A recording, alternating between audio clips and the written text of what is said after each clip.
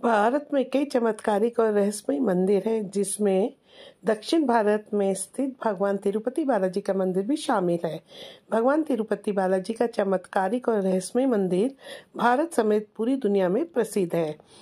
यह मंदिर भारतीय वास्तुकला और शिल्प कला का उत्कृष्ट उदाहरण है। तिरुपति बालाजी मंदिर भगवान विष्णु को समर्पित है। यह मंदिर आंध्र प्रदेश के चित्तूर ज़िले में तिरुमला पर्वत पर स्थित है और यह भारत के मुख्य तीर्थ स्थलों में से एक है। तिरुपति बालाजी मंदिर कहाँ है? तो तिरुपति बालाजी आंध्र प्रदेश के दक्षिण पूर्वी भाग चित्तूर ज़िले में स्थित है। मंदिर समुद्र तल से 32 फीट की ऊंचाई पर तिरुमला की पहाड़ियों पर स्थित है। तिरुमला की सात पहाड़ियों को भगवान विष्णु के सात सिरों की उपाधि दी गई है। मंदिर के आसपास अद्भुत घटनाएँ होती हैं, जिसके चलते स्थान को धरती का वैंकुट भी कहा जाता है। तिरुपति बालाजी का वास्तविक नाम श्री वेंकटेश्वर स्वामी है, जो स्वयं भगवान विष्णु है। धार्मिक मान्यताओं के मुताबिक भगवान श्री वेंकटेश्वर अपनी पत्नी पद्मावती के साथ तिरुमला में निवास करते हैं। ऐसा कहा जाता है, जो भी सच्ची भक्त मन से भगवान वेंकटेश के सामने प्रार्थना करते हैं, उनकी सभी मुरादें वो पूरी करते हैं। भक्त अपनी श्रद्धा के मुताबिक यहाँ आकर तिरुपति मंदिर में अपना बाल दान करते हैं। फिर में बालों के दान को लेकर कहा जाता है कि जो मनुष्य अपने बालों का दान करता है, उसे देवी लक्ष्मी की कृपा प्राप्त होती है। मुंडन संस्कार जो दोस्तों यहाँ पे होता है, वो जन्म के बाद प्रथम एक वर्ष के अंदर करा दिया जाता है। साथ ही हिंदुओं में ये कहा जाता है कि कोई मन्नत पूरी होने पर मुंडन करवाया जाता है। बता दें कि तमिलनाडु के तिरुतगामी स्थल पर बड़ी संख्या में महिलाएँ अपने मन्नत पूरी हो जाने के बाद मुंडन करवाती हैं। तिरुपति बालाजी मंदिर में बालों के दान के बारे में कहा जाता है कि यहाँ पर देवी माता की कृपा प्राप्त होती है, साथ ही सारी परेशानियाँ खत्म हो जाती हैं। जो व्यक्ति अपने मन से सभी पापों और बुराइयों को या छोड़ जाता है, उसके सभी दुख देवी लक्ष्मी खत्म कर देती इसलिए यहाँ सभी बुराइयों और पापों के रूप में लोग अपने बाल छोड़ जाते हैं, ताकि भगवान विष्णु और देवी लक्ष्मी उन पर प्रसन्न रहे। तिरुपति मंदिर में प्रतिदिन करीब बीस हज़ार भक्त यहाँ अपने बाल दान करके जाते हैं। वही इस कार्य को संपन्न करने के लिए मंदिर परिसर में करीब 600 नाइयों को भी रखा गया है। माना जाता है कि यहाँ बस जितनी कीमत के बाल दान करते हैं, भगवान उससे दस गुना ज़्यादा कीमत आपको धन के रूप में लौटाते हैं। कहते हैं कि जो भी मनुष्य यहाँ आकर अपने बाल दान करता है, उस पर माँ लक्ष्मी की विशेष कृपा होती है। यहाँ पे पुरुषों के अलावा महिलाएँ भी मन्नत पूरी होने पर अपने केश दान करती हैं। कहा जाता है कि प्राचीन काल में भगवान बालाजी की मूर्ति पर ढेरों चीटियों का एक पहाड़ बन गया था। उस पहाड़ पर रोज़ाना एक गाय आया करती थी और दूध देकर चली जाती थी। जब गाय के मालिक को इस बारे में पता चला तो वो बहुत नाराज़ हुआ और उसने कुल्हाड़ी से गाय का वध कर डाला। इस हमले के दौरान बालाजी के सिर पर भी चोट आई, साथ ही उनके सिर के बाल भी गिर गए। तब बालाजी की माँ भगव, भगवती नीला देवी ने अपने बाल काटकर बालाजी के सिर पर रख दिए।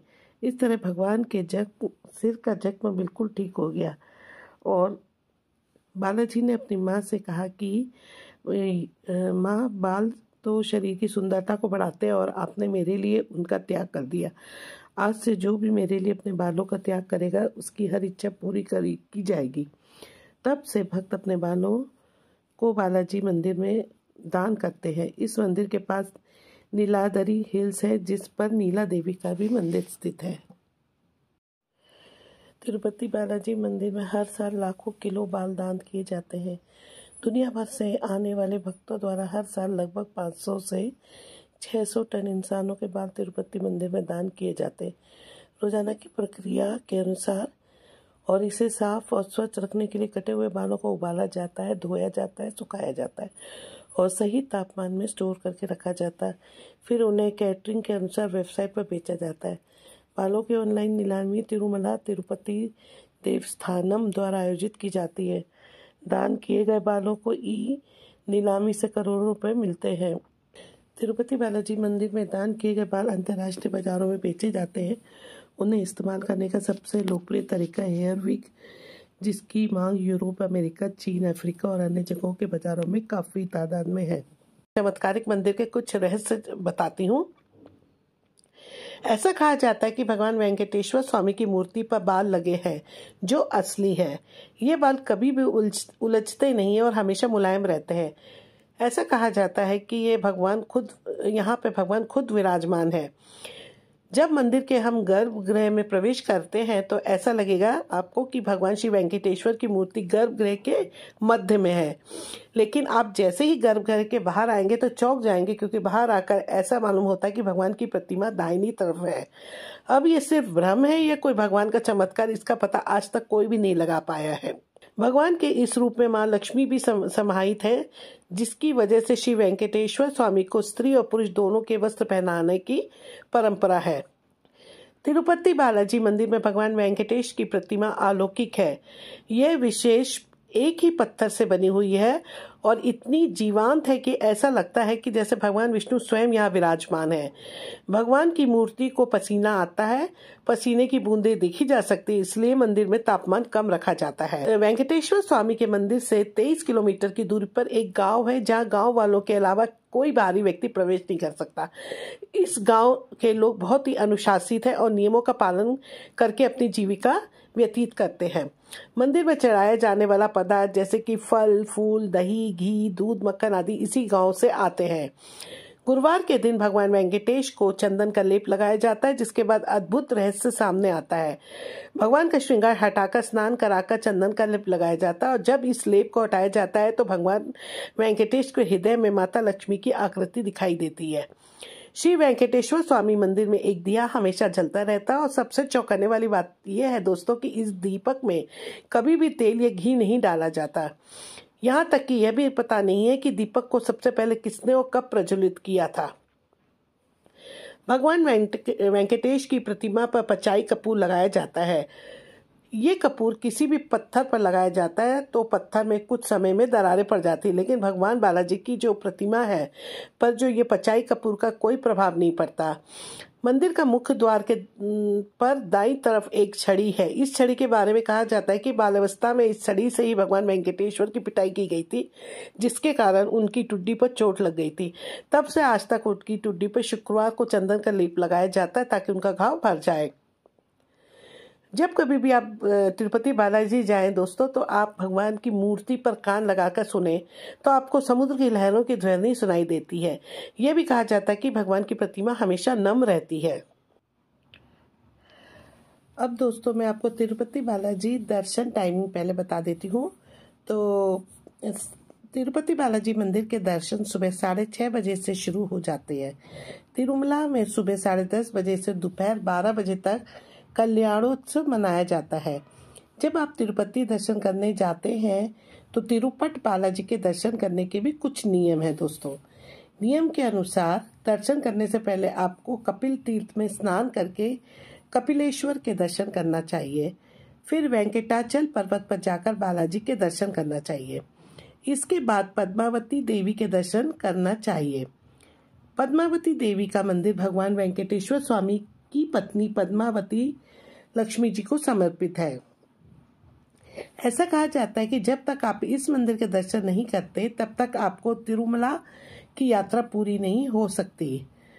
जब तक इस मंदिर के दर्शन नहीं किए जाते हैं, तब तक आपकी ये जो यात्रा है, इसको पूरा नहीं कहा जा सकता। है तिरुपति मंदिर में जो प्रसाद है दोस्तों, वो लड्डुओं का प्रसाद दिया जाता है। जिसे प्रसादम कहा जाता है। इन लड्डुओं का इतिहास लगभग 300 साल से भी ज़्यादा पुराना है। इन लड्डुओं को बनाने की विधि भी सबसे अलग है। इन्हें बनाने में बेसन, किशमिश, मक्खन, काजू और इलायची का इस्तेमाल किया जाता है। हर लड्डू का वज़न एक सौ चौहत्तर ग्राम होता है। इन लड्डुओं को बनाने के लिए यहाँ के कारीगर 300 साल पुरानी विधि का प्रयोग करते हैं। लड्डुओं का निर्माण बालाजी मंदिर की रसोई में किया जाता है और इस रसोई को हम पोटू कहते हैं। इन लड्डुओं की सबसे खास बात यह है कि अगर दोस्तों आप यहाँ से लड्डू ले जाकर घर में बनाकर खाना चाहे तो आपको वो स्वाद नहीं मिलेगा। ये मंदिर का ही चमत्कार है कि लाखों कोशिशों के बाद भी लड्डू लोग अपने घर में ऐसा नहीं बना पाते। ये लड्डू कई दिनों तक खराब नहीं होता है और इसे आप यहाँ से ले जाकर कई दिनों तक रखकर खा सकते हैं। इन लड्डुओं की कीमत दस रुपये से लेकर पच्चीस रुपये तक ही है। लड्डुओं की सुरक्षा का काफ़ी कड़ा इंतज़ाम है। इन लड्डुओं को यहाँ से ले जाने के लिए आपको एक सुरक्षा दायरे से होकर गुजरना पड़ता है, जिसमें सुरक्षा कोड और बायोमेट्रिक विवरण शामिल होता है। तिरुपति बालाजी मंदिर में दोस्तों, जैसे कि मैंने आपको पहले बताया कि बाल का दान करना या मुंडन करवाना होता है। यहाँ पे बालों के दान के बारे में जैसे कि मनुष्य के जितने भी परेशानियाँ होती हैं और उनके जीवन में जितनी भी कठिनाइयाँ आती है, वो देवी माता लक्ष्मी की कृपा से दूर हो जाती है। इसकी लिए यहाँ पे लोग बाग अपना बाल दान करते हैं। अगर आप सोच रहे हो कि मंदिर में केवल पुरुष ही अपने बाल कटवाते हैं तो आप बिल्कुल गलत हैं। यहाँ बच्चों और पुरुषों के साथ साथ महिलाएँ भी अपने बाल कटवाती हैं। महिलाएँ भी धन प्राप्ति के लिए कई मन्नतें मांगती हैं और इच्छा पूरी होने पर अपने लंबे बालों का दान करती हैं। यहाँ पर मनुष्य अपने बालों के रूप में अपने सारे पाप और बुराइयाँ मंदिर में छोड़ जाता है, तथा उसके सभी दुख देवी लक्ष्मी माता हर लेती हैं। इस मंदिर में रोज़ाना करीब बीस हज़ार लोग अपने बाल दान करने के लिए आते हैं। और ऐसी मान्यता है कि यहाँ पर लोग आकर अपनी मन्नत मांगते हैं और जब उनकी मन्नतें पूरी हो जाती है तो वो यहाँ आकर अपने बाल दान कर देते हैं। कुछ नियम है कुछ कानून बनाए गए हैं टेंपल के रूल्स हैं वो मैं आपको पहले बता देती हूँ। और ये नियम जो है बालाजी के तिरुपति बालाजी के दर्शन नियम 2022 में आते हैं। जैसे कि मंदिर परिसर में या उसके आसपास जूते चप्पल नहीं पहनने चाहिए मंदिर के अंदर कभी भी दंडवत प्रणाम ना करें। तिरुपति बालाजी मंदिर में दिए गए प्रसाद को कभी भी ज़मीन पर न गिरने दें। मंदिर में मांसाहारी भोजन न करें ना ही शराब या अन्य किसी नशीले पदार्थ का सेवन और धूप्रपान नहीं करना चाहिए। मंदिर परिसर के अंदर हेलमेट टोपी पगड़ी पहने। अब मैं आपको ये बताऊँगी कि यहाँ कैसे पहुँचा जाए। तो तिरुपति बालाजी मंदिर में आने के लिए आप खुद अपने वाहन से आ सकते हैं बस, ट्रेन और हवाई जहाज़ किसी भी माध्यम से आ सकते हैं। हवाई जहाज़ से तिरुपति अगर आ रहे हैं तो तो आपको यहाँ एक छोटा सा हवाई अड्डा है जहाँ से हैदराबाद और दिल्ली के लिए सीधी उड़ान मिलती है। आप पहले अपने शहर से दिल्ली या हैदराबाद आइए और वहाँ से तिरुपति जाइए। हवाई अड्डे से आप आधे से एक घंटे के अंदर बस के माध्यम से मंदिर तक पहुँच सकते हैं। और अगर आप ट्रेन के माध्यम से आ रहे हैं तो तिरुपति में एक रेलवे स्टेशन है, लेकिन यहाँ ट्रेन के ज़्यादा विकल्प मौजूद नहीं है। आप अगर अपने शहर से तिरुपति रेल से आना चाहते हैं तो आप बैंगलोर, चेन्नई और हैदराबाद तक ट्रेन से आए। इसके बाद यहाँ से आपको तिरुपति के लिए अलग ट्रेन से सफ़र करना पड़ेगा। यदि आप लोकल ट्रेन में हैं तो तिरुपति उतर जाए, अन्यथा आप रेनीगुटा जंक्शन उतर सकते हैं। यह तिरुपति से 10 किलोमीटर दूर है और यहाँ से ट्रेन के ज़्यादा विकल्प मौजूद हैं। अब दोस्तों, मैं आपको ये बताती हूँ कि तिरुपति बालाजी कब कौन से सीज़न में ट्रिप करनी चाहिए। तो तिरुपति बालाजी जाने का उचित समय सितंबर से फरवरी के बीच माना जाता है। इस समय मौसम ठंडा रहता है और आपके अनु, आपके अनुकूल रहता है। फरवरी के बाद काफ़ी गर्मी यहाँ पड़ने लगती है। तिरुपति बालाजी के दर्शन कैसे करें तथा दर्शन के नियम या उनका टाइम टेबल किस हिसाब से होता है? तो तिरुपति बालाजी मंदिर में रोज़ाना दोस्तों पचास हज़ार से एक लाख लोग दर्शन करते हैं। ऐसे में वहाँ काफ़ी भीड़ होना जायज़ ही है। सामान्य दर्शन करने वालों को करीब एक से तीन दिन का समय लगता है। भीड़ ज़्यादा होने पर इससे भी ज़्यादा समय लग सकता है। अगर आप भीड़ से बचना चाहते हैं तो आप ऑनलाइन बुकिंग करवा कर स्पेशल एंट्री ले सकते हैं, जिसमें आपको कम समय में दर्शन हो जाते हैं। वीआईपी दर्शन की बुकिंग के लिए आप इनकी website H T T P S dot hash T T D S E V A Seva online dot com पर बुकिंग करें। दोस्तों, अगर आप तिरुपति बालाजी दर्शन करने के लिए जाते हैं तो आपको और भी स्थान घूमने चाहिए जो तिरुपति की यात्रा के दौरान पड़ते हैं। तिरुपति यात्रा के दौरान आसपास निम्नलिखित स्थान आप देख सकते हैं, जैसे कि कपिला तीर्थम, इस्कॉन मंदिर कोडत राम स्वामी मंदिर और वेंकटेश्वर प्राणी उद्यान। तिरुपति बालाजी का मंदिर भारत का एक पवित्र तीर्थ स्थल है। इसे सबसे अमीर मंदिरों में से एक भी कहा जा सकता है, क्योंकि यहाँ पर काफ़ी सारा दान आता है। पूरे देश में आने वाले मंदिरों में दान की बात करें तो ये मंदिर टॉप पाँच मंदिरों की लिस्ट में आता है। जीवन में एक बार तिरुपति जाकर तिरुपति बालाजी के दर्शन ज़रूर करिएगा। Thank you friends